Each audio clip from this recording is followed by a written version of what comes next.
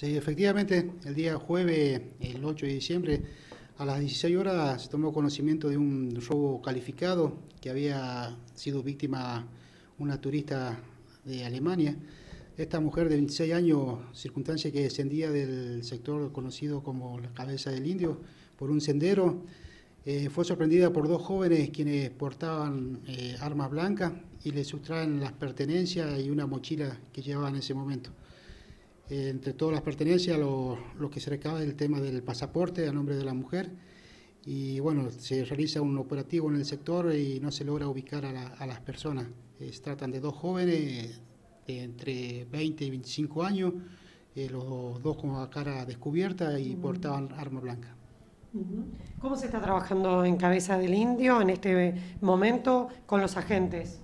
Sí, estamos trabajando ahora, hemos reforzado el sector con el grupo de, montaña que posee esta comisaría y, también con el grupo de, motoristas que tenemos. Eh, estamos realizando ahora recorrida eh, continua en esos sectores de, influencia turística.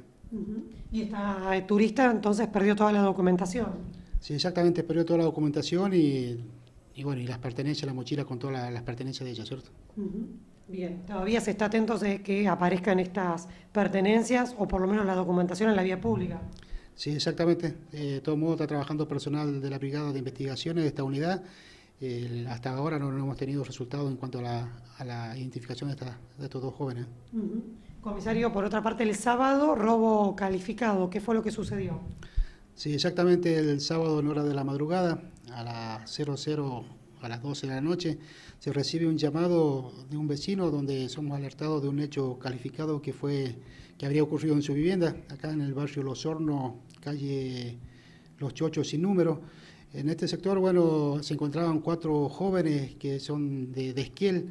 Eh, no estaba el dueño de la vivienda en ese momento y dice que, bueno, fueron sorprendidos por tres individuos que ingresan eh, bruscamente a la vivienda.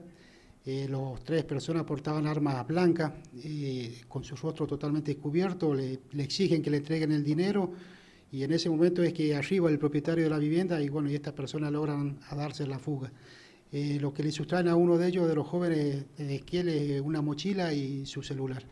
Se montó de forma inmediata un operativo cerrojo en el sector, pero no, no se logró identificar personas eh, que hayan andado por el sector por parte de la brigada, como también de la, de la Guardia de Prevención acá de la Comisaría 12. Este robo fue un tanto confuso, tenemos entendido. Sí, estamos trabajando, estamos investigando eh, el, hecho en sí, bueno, está la, Brigada de Investigaciones trabajando en este hecho. Nos llama la atención, sí, pero tenemos que darle la investigación para dar un, buen parte en cuanto al hecho en sí. El hecho está denunciado como un robo calificado, donde interviene el jugador bueno, de San Carlos Bariloche. Bien, por otra parte, el domingo, eh, ¿qué situación se vivió en el barrio Ampliación del Irigoyen? Sí, esto, bueno, a, eh, a las 21.15 se recibe un llamado telefónico a, la comisaría donde da a conocer de que habrían, se estaba cometiendo un, ilícito en, el, un local, una despensa denominada Force, ubicada en, calle Quenquén, del mencionado barrio. En este sector, bueno, cuando arriba personal policial, sale un joven corriendo del interior del local eh, una de las personas indica que él, eh, se trataba de una persona que había cometido el hecho, por ende se procede a su aprehensión a pocos metros del lugar. Eh, se resiste el joven a, la, su detención, agrede a personal policial en el lugar y por ese motivo fue trasladado en forma inmediata a la, a la comisaría, ¿cierto? de lo informado por el propietario de la despensa, bueno, se habría originado una discusión con este cliente, quien fue a hacer un reclamo en cuanto a una mercadería y se volvió muy muy agresivo, comenzó a tirar algunos elementos y bueno, y luego cuando llegó personal policial, donde se procedió a su detención, eh, procedió a agredir al personal policial.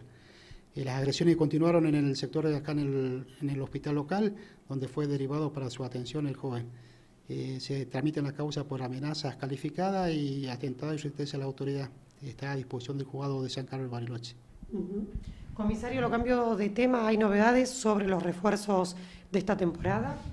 Sí, efectivamente, ahora el, 16 de diciembre eh, arriban 16 efectivos de refuerzo que vienen de, las escuelas de, San Carlos de Bariloche y vienen a, reforzar la parte,